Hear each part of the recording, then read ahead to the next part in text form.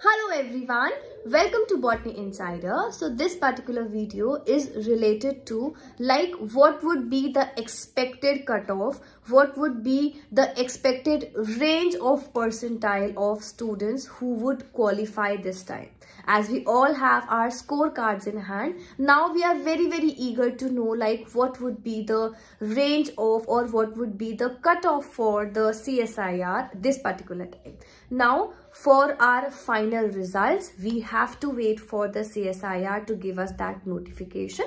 But if we predict but if we analyze like what would be the range of it so for the general category as like looking at the trend it would be above 98 only. Yes it would be above 98 percentile for the general category.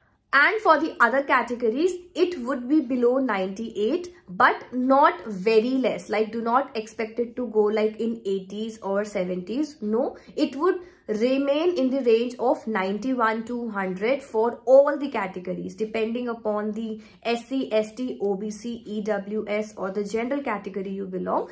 All of these would range between 91 to 100. Some of them are 1 or 2 point less or 1 or 2 point more.